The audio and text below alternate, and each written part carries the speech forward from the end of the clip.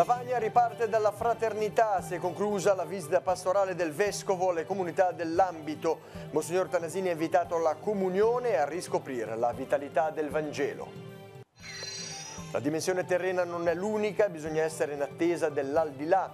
Il Papa all'Angelus ha parlato della resurrezione. Dio ama la vita e la vita è dove ci sono relazioni vere e legami di fedeltà. Missione vuol dire testimoniare il Vangelo con la vita, è uno dei temi emersi dal recente sinodo per l'Amazzonia. Questa sera faremo il punto in direttamente su. Il Trentino e Liguria rinnovati il gemellaggio e l'amicizia tra Portofino e Canazei. Nel borgo i figuranti in costume tirolese hanno animato la piazzetta con balli e danze tradizionali. Senza Levante ospita Mondovisioni, la rassegna di film indipendenti che aiutano a vedere con occhio più consapevole alcuni temi di attualità. Domani il secondo appuntamento al convento dell'Annunziata. Arriva provvidenziale per la Virtus Entella la sosta di campionato per le partite delle nazionali. Sarà possibile recuperare gli acciaccati. Sabato l'amichevole al Franchi contro la Fiorentina. Buonasera, buonasera a tutti gentili telespettatori e benvenuti nei nostri studi. Si è conclusa la visita pastorale del Vescovo Monsignor Tanasini all'ambito di Lavagna, un'area vasta che comprende molte comunità di fedeli, dal Santuario del Ponte a Maria Madre, passando per Santo Stefano, Barassi, Sorlana, Santa Giulia e Cavi. Per questo Monsignor Tanasini ha rivolto un invito a camminare sempre più insieme. Il servizio lo vediamo insieme. Ho constatato come questo vostro ambito, questa vostra città di Lavagna, nelle sue comunità parrocchiali, sta camminando sulla via della comunione. Concludendo la visita pastorale, il vescovo sottolinea la fraternità quale punto da cui ripartire. Per raggiungere l'obiettivo della comunione, Monsignor Tanasini esorta a riscoprire innanzitutto la vitalità del Vangelo. Abbiamo tempo per tante cose e non abbiamo tempo di fermarci un poco per crescere nella fede. Ecco questo vi chiedo e la comunione tra di voi può essere sostegno reciproco per questo cammino. Un altro invito da parte del Vescovo a chiusura dell'omelia è quello di essere una comunità aperta, capace di vivere la carità, di fare insomma l'esperienza dell'amore non possessivo, non come chiusura. L'esperienza dell'amore come un'esperienza di incontro, un'esperienza di dialogo, una esperienza di cura delle persone più fragili e di prendersi a cuore tutte quelle realtà incrociate dalla sofferenza e dal dolore. Per la messa del vescovo un terzo delle panche della chiesa erano vuote e questa, una delle fatiche su cui riflettere, se lo sono chiesto alcune delle persone presenti. Eh, la fatica un po' dappertutto, penso sia quella di, eh, di, essere presenti anche perché anche alle messe, cioè una volta c'erano tanti bambini, adesso i bambini non ci sono. Dipende forse anche dalla, dalla testimonianza delle persone, forse dalla famiglia anche penso, perché i bambini se non vengono i genitori non, non, cioè, non vengono da soli. Tra le frasi del vescovo che hanno fatto breccia nel cuore dei fedeli c'è stato anche l'invito a puntare di più sulla corresponsabilità dei laici. Evangelizzare è compito di tutti, con l'essere ancora prima che col fare, quindi prima di tutto con la nostra vita, col nostro stile, col nostro esserci, col nostro prenderci a cuore degli altri. Durante le Sante Messe domenicali sono stati ufficializzati alcuni avvicendamenti che riguardano principalmente la Valle Sturla. Don Nduvivana lascia la diocesi di Chiavari per rientrare in Burundi. Le comunità che amministrava saranno così coperte. Don, Maurizio, Don Mauro Gandolfo diventerà amministratore parrocchiale di Vignolo, prete Rinaldo Rocca, amministratore parrocchiale a Mezzanego, Don Daniele Beronio, parroco a Prato sopra la Croce e farà il suo ingresso domenica 24 novembre alle 15 accompagnato dal vicario generale della diocesi Don Stefano Mazzini. È stata inoltre annunciata la nomina di Don Valerio Traverso ad amministratore parrocchiale di San Lorenzo della Costa a Santa Margherita Ligure. Tutti gli incarichi saranno effettivi dalla solennità del Cristo Re. La fede nella resurrezione dei morti e dunque la vita eterna è stata il tema al centro delle parole del pontefice all'Angelus domenicale. Francesco ha preso spunto dal brano del Vangelo proposto dalla liturgia. Dio ha spiegato ama la vita e la vita è dove ci sono relazioni vere e legami di fedeltà. Al termine della preghiera mariana il pontefice ha rivolto un appello alla riconciliazione nazionale del sud del Sudan e ha chiesto le preghiere per la Bolivia. Il servizio curato da Radio Vaticana. E la fede nella risurrezione dei morti e dunque la vita eterna al centro delle parole di Papa Francesco all'Angelus. Il brano odierno del Vangelo presenta Gesù che dialoga con alcuni sadducei a proposito della risurrezione in cui essi non credevano. Francesco afferma che le parole di Gesù sulla vita oltre la morte danno grande consolazione e speranza e che di questo abbiamo tanto bisogno, specialmente nel nostro tempo, così ricco di conoscenze sull'universo ma così povero di sapienza sulla vita eterna. Si tratta di un dubbio che tocca l'uomo di tutti i tempi e anche noi. Dopo questo pellegrinaggio terreno, ce ne sarà? Che ne sarà dalla nostra vita? Gesù dice che la vita appartiene a Dio, afferma il Papa, a Dio che ci ama che ci lega strettamente a noi. È il Dio non dei morti ma dei viventi. E aggiunge. La vita sussiste, sussiste dove c'è legame, comunione, fratellanza ed è una vita più forte della morte quando è costruita su relazioni vere e legami di fedeltà. Al contrario non c'è vita dove si ha la pretesa di appartenere solo a se stessi e di vivere come isole, in questi atteggiamenti prevale la morte, l'egoismo. Io vivo per me stesso sto seminando morte nel mio cuore. Il Papa conclude con una invocazione alla Vergine Maria perché lei ci aiuti a vivere nell'attesa della risurrezione dei morti e della vita che verrà e raccomanda aspettare l'aldilà. Fare missione vuol dire mettere in campo la migliore strategia comunicativa possibile, ma è fare della propria vita una testimonianza. Questo è il pensiero del direttore editoriale del Dicastero Vaticano per la comunicazione, Andrea Tornielli, al quale abbiamo chiesto di sintetizzare alcuni punti emersi dal recente sinodo per l'Amazzonia. Ecco le sue parole sul tema della missione. Qual è dunque l'urgenza eh, in questo eh, auspicio che anche il Papa ha ribadito, insomma, di tornare ai poveri dal punto di vista proprio missionario? Il Papa ha appena scritto un bellissimo libro intervista che si intitola Senza di lui non possiamo far nulla, una conversazione con il giornalista Gianni Valente, un piccolo libretto ma veramente denso e bellissimo, nel quale il Papa Francesco spiega che la missione è nella natura della Chiesa. La Chiesa o è missionaria o non è. La Chiesa, come usa dire il Papa, o è in uscita per annunciare il Vangelo o non ha ragione di esistere, non può esistere. Talvolta anche noi possiamo rischiare di credere che il successo della missione dipenda da quanto noi a tavolino eh, ci siamo messi a pensare come essere missionari, quanto siamo stati smart, bravi a usare i nuovi mezzi di comunicazione, quanto è basato sulle nostre strategie. Il fatto è che la missione la fa lo Spirito Santo e dunque il cristiano è missionario quanto più dà spazio allo Spirito Santo, dà spazio a Dio, lascia che sia Dio ad agire, lascia che sia poi la vita trasformata, la testimonianza di vita a, eh, a diventare appunto testimonianza che interessa, che fa percepire la bellezza della vita e dunque eh, che può incuriosire o avvicinare le persone. Non siamo noi che convertiamo, è sempre Dio che converte i cuori, i suoi tempi e le sue strade sono conosciute solo a Lui e noi siamo tutti servi inutili. Anche perché la Chiesa, come ama sottolineare Papa Francesco, riprendendo una frase importante del suo predecessore Benedetto, la Chiesa cresce per attrazione, non per proselitismo. Che cosa significa? Attrazione significa che non è perché tu ti sei messo in testa di fare un bel discorso o hai pensato qualche strategia comunicativa che il Vangelo passa. Il Vangelo passa se i cristiani lo vivono, se lo vivono, non se lo dicono, e se lo vivono nei loro rapporti, nel modo con cui usano il tempo, nel modo con cui si vogliono bene, se testimoniano che il cristianesimo è vivo. Questa è la missione.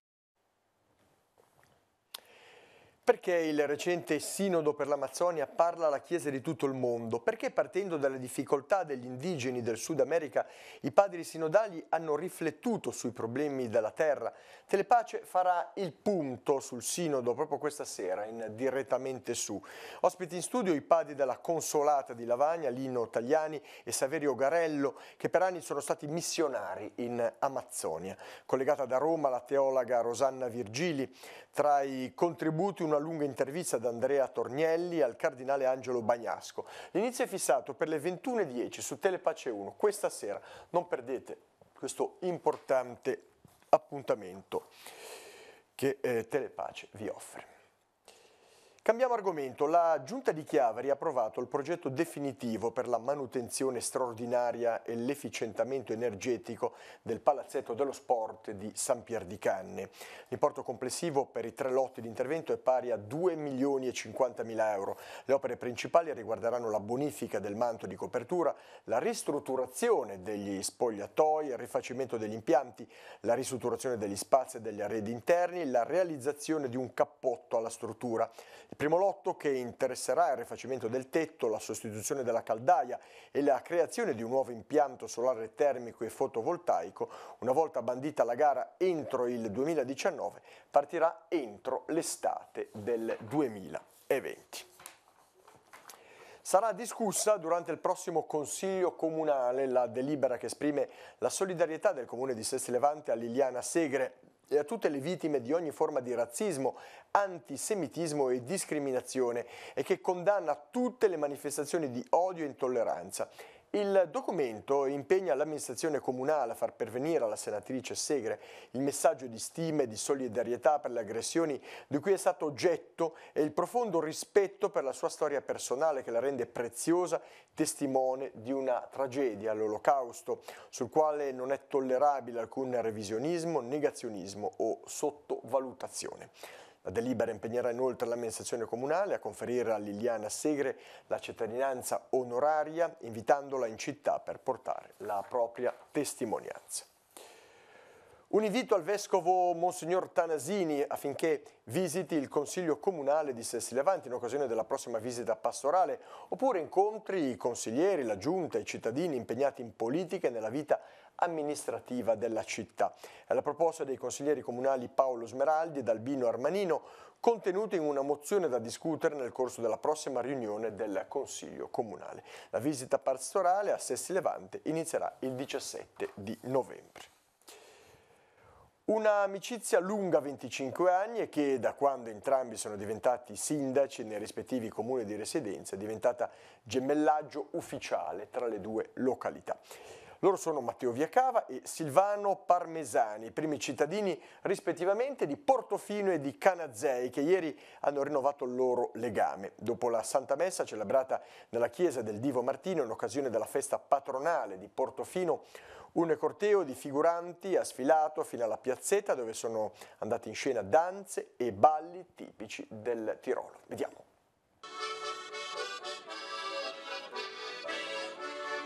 Chi avete portato qui oggi? Oggi abbiamo portato dei gruppi che diciamo, rappresentano solitamente anche il nostro paese, di, abbiamo gli alpini che comunque sono sempre mitici in tutta l'Italia, che approfitto per salutare tutti gli alpini d'Italia. Abbiamo portato il nostro gruppo folcloristico che voi sapete noi abbiamo come dire, il nostro territorio è una terra ladina e quindi abbiamo portato dei costumi tipici delle, delle, nostre zone che sono storici e quindi abbiamo preso il gruppo folcloristico in rappresentanza di questi. Poi abbiamo preso il gruppo delle maschere o le maskers e le maschere da noi il carnevale è molto sentito e ci saranno queste, queste, queste figure che vedrete, c'è il buffon che è, un, è, facile anche da tradurre il buffon e poi abbiamo il lacché, il marascons che suonano qui i campanaci e quindi abbiamo portato anche loro qui in rappresentanza della nostra terra e della nostra cultura. Cosa comuna secondo lei il Canasei a Portofino? Ma direi innanzitutto una forte amicizia tra eh, i nostri primi cittadini, perché sono molto amici, e poi hanno coinvolto un po' tutta la popolazione, anche su da noi. Il sindaco di Portofino è salito tante volte e, e ci ha un po' conosciuto e insomma certamente una fratellanza e un'amicizia. È un gemellaggio che è proprio nato dal cuore perché frequentandoci abbiamo detto uniamo le nostre due comunità che sono persone comunque che hanno degli ideali e delle, de, delle caratteristiche simili, la tenacia, la forza, l'attaccamento al territorio, la bellezza, la natura del nostro paese. E da lì poi è nato il gemellaggio che l'abbiamo fatto due anni fa ed oggi finalmente dopo purtroppo dovevano venire già l'anno scorso, per ovvi motivi non sono potuti venire a novembre, eh, però avevano mandato comunque la stella che ricordo ce la portiamo nel nostro cuore perché avevano illuminato in quei giorni di, molto duri dell'isolamento di Portofino il Natale e il Capodanno era la nostra luce nella piazza, perciò era la, la, la luce di Canazzei che illuminava Portofino. Oggi finalmente, avendo passato anche quel brutto periodo, siamo qua a festeggiare insieme agli amici, i fratelli, io li denomino proprio fratelli di Canazzei.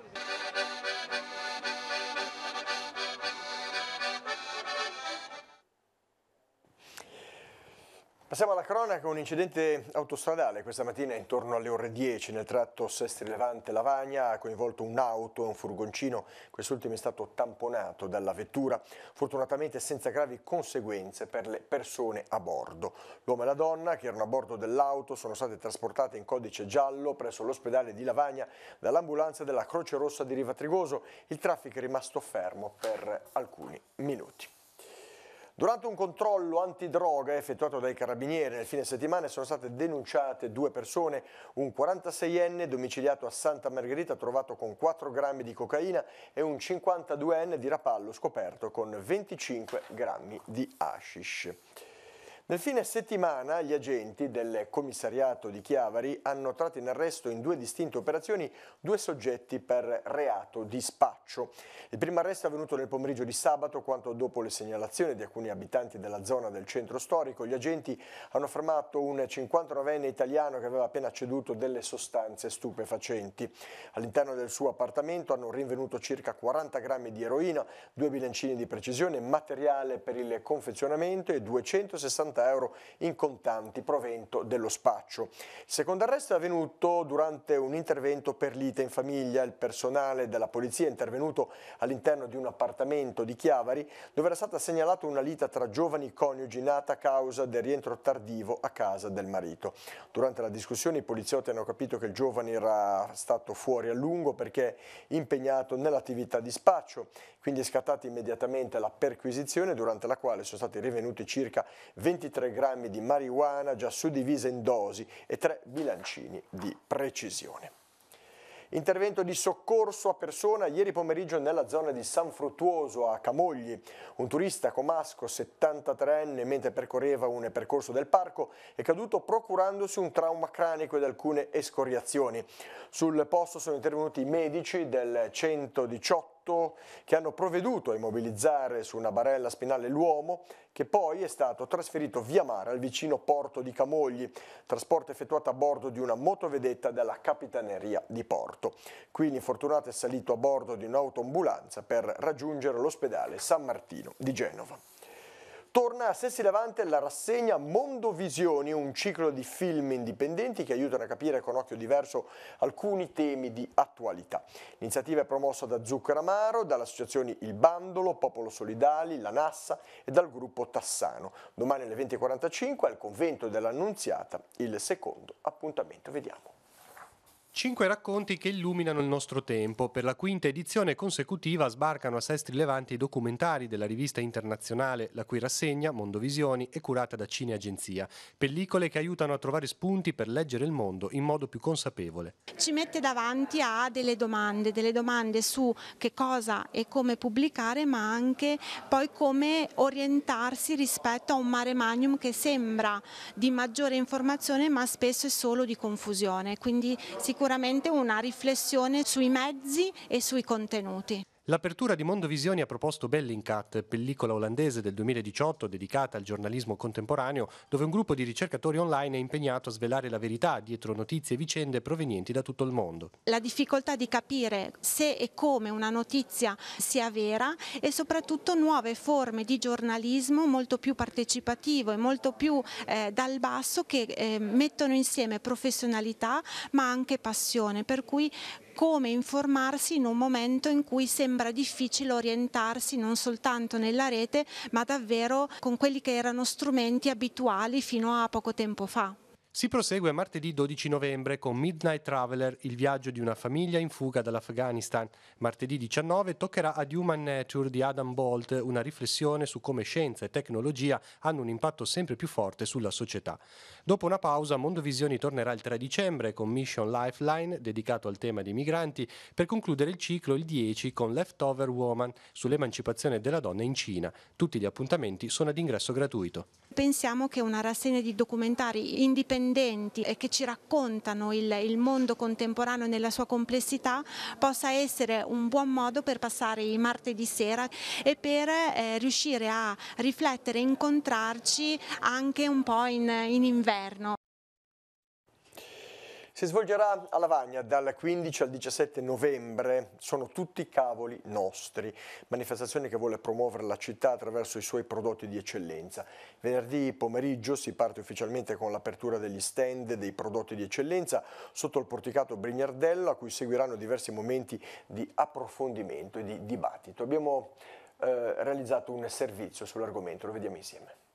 Valorizzare e promuovere il patrimonio agroalimentare della piana dell'Entella per tutelare le tradizioni storico-culturali parlare di educazione ambientale e di tutela della salute degli individui. Nasce con questo spirito l'iniziativa Sono tutti cavoli nostri, in programma a Lavagna da venerdì a domenica prossimi. Protagonisti non solo il cavolo lavagnino, preso come simbolo del territorio, ma anche gli antichi ortaggi del Tiguglio, Evo Dop, il basilico, la dieta mediterranea e la nocciola misto chiavari. Giovedì sarà una mattinata speciale, tutta dedicata ai bambini delle elementari della città città che verranno accompagnati dalle maestre negli orti della piana. I piccoli hanno anche realizzato tanti disegni a tema che sono già esposti nelle vetrine del centro storico. Venerdì poi l'apertura degli stand dei prodotti di eccellenza sotto il porticato Brignardello. Ci saranno diversi agricoltori che esporranno e potranno vendere i loro prodotti di eccellenza, alcuni di Lavagna, altri anche del circondario, quindi del, mm, dell'entroterra. E abbiamo sempre sotto il porticato Brignardello una zona dedicata un, uh, agli show cooking, ai laboratori, alle dimostrazioni. Avremo invece in sala Campodonico due appuntamenti importanti, due conferenze, una il venerdì pomeriggio alle 4 e una il sabato mattina alle ore 11. Poi avremo, eh, altra cosa molto importante, abbiamo organizzato tre visite guidate sugli orti, sono visite guidate eh, da una guida ambientale gratuite, le persone verranno accompagnate su Il Sejun, che è l'antico argine napoleonico, molto importante per far conoscere una parte di Lavagna del tutto inedita. È la prima manifestazione dopo tre anni di nulla a seguito del commissariamento ed era necessario per noi iniziare proprio dai nostri prodotti eh, agroalimentari che, che, sono prodotti d'eccellenza. Quindi eh, parlare della piana dell'entella e parlare del porticato Brignardello, perché comunque eh, la manifestazione si eh, svolgerà all'interno eh, del porticato che eh, per tanti anni ehm, è stato sottovalutato e, e, invece per noi è un punto di riferimento per eh, tutte le manifestazioni che ci saranno eh, nel prosieguo. L'Accademia Culturale di Rapalla inaugurato il 42esimo anno di attività. Presso l'Auditorium delle Calarissie si è svolta la cerimonia d'apertura dei corsi alla presenza di un pubblico numeroso. Il filo conduttore dell'anno 2019-2020 sarà Pianeta Terra, quale futuro? Circa 90 le conferenze in programma che si svolgeranno nella sede di Villa Quairolo. Sono inoltre previste numerose attività collaterali, oltre a gite ed esperienze culturali fuori Rapallo. Le lezioni sono tenute da docenti esperti nei vari settori. In occasione dell'inaugurazione è stata ufficializzata la nomina del nuovo presidente del sodalizio, Guido Gigli, che succede al past president Giorgio Caralis. Continuano le segnalazioni per la mancanza di segnale televisivo RAI nella zona di Chiavari, Leivi e Carasco. Da diversi gio eh, giorni nelle abitazioni di questo territorio non si vedono i canali del servizio pubblico. Il problema interessa il ripetitore del curlo di Leivi. I tecnici sono a conoscenza del guasto ma non sono ancora riusciti ad intervenire sulla sincronizzazione degli impianti. E ora come di consueto andiamo a vedere la scheda degli appuntamenti per domani, martedì 12 novembre, la sigla. Appuntamenti in agenda per martedì 12 novembre, orientamenti 2019 al Porto Antico di Genova, la tre giorni con stand di presentazioni dedicate alle scuole e percorsi formativi degli studenti verrà inaugurata dalle 9 alle 20. Presentazione delle attività di protezione civile e delle squadre di antincendio boschivo dedicate a ragazzi della scuola primaria e secondaria. L'appuntamento dalle 9 alle 13 e dalle 14 alle 16 nei plessi del villaggio del ragazzo del Cogorno capoluogo. Dalle 9 alle 13 in via Salvi, zona Tannino e Sestri Levante sarà allestito il mercato agricolo e delle autoproduzioni a chilometro zero, possibilità di acquisto diretto di prodotti agroalimentari della zona. Il Museo Scientifico Leonardini Sanguinetti sarà aperto alle visite dalle 9 alle 12 nei locali del Seminario Vescovile di Chiavari. Sono esposti più di 300 apparecchi datati intorno ai primi dell'Ottocento. Apertura dalle 9 alle 14 per il Museo Archeologico al primo piano di Palazzo Rocca in via Costaguta Chiavari. In esposizione reperti e testimonianze archeologiche provenienti dal territorio chiavarese. Dalle 13.30 alle 14.30 all'Auditorio San Francesco di Chiavari si terrà l'incontro di formazione sull'utilizzo del defibrillatore DAE dal titolo Ci sta a cuore il tuo cuore. Prima giornata del Festival Letterario Incipit al Castello de Albertis di Corso Dogali a Genova. Alle 16 l'incontro con il mondo di Emilio Salgari con Anselmo Roveda e Marco Paci. Ne seguiranno altri sempre sul tema dell'incontro. Nell'ambito del quindicesimo corso di cultura genovese alle 16.30 nella sala Livellare in via del Pino a Chiavari sarà ricordato Giuliano Vignolo. Interverranno Marco Raffa, Marina Ravera e Tito Mangiante. Prosegue a Sestri Levante la rassegna Mondo Visioni documentari di internazionale con Midnight Traveler di Hasan Fazil alle 20.45 nella sala Agave del convento dell'Annunziata.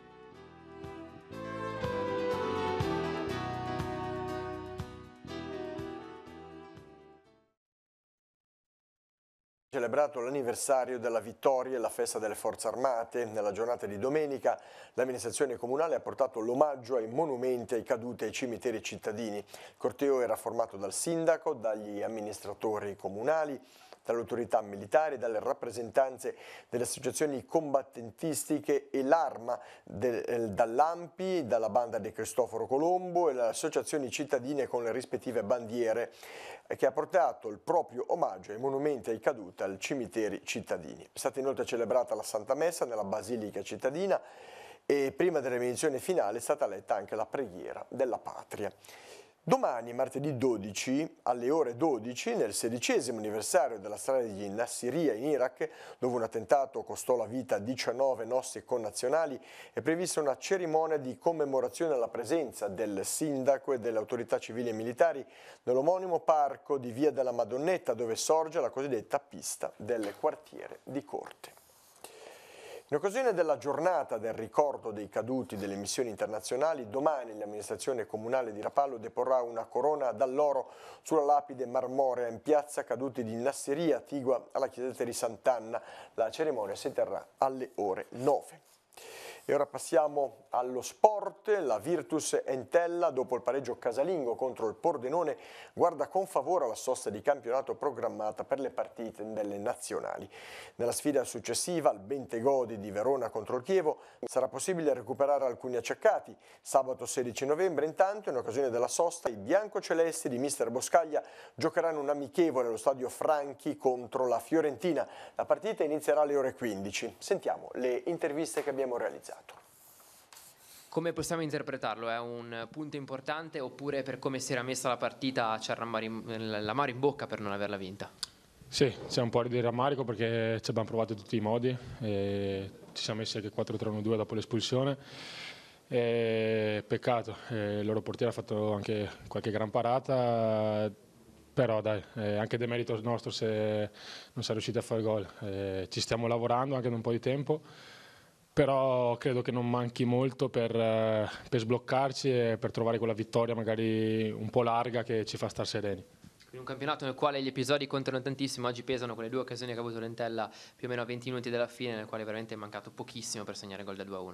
Sì, sì, no, infatti intendevo quelle, dobbiamo essere un po' più cinici e magari eh, aspettarci che chiunque si trovi lì eh, può essere la palla della vita, la palla gol che ci fa vincere la partita. Eh, ci stiamo lavorando in settimana con il mister. E mm, ti ripeto, manca solo quello perché alla fine poi la partita riusciamo anche a gestirla bene, facciamo anche un gran possesso palla, però eh, ci manca un po' di cinismo lì davanti.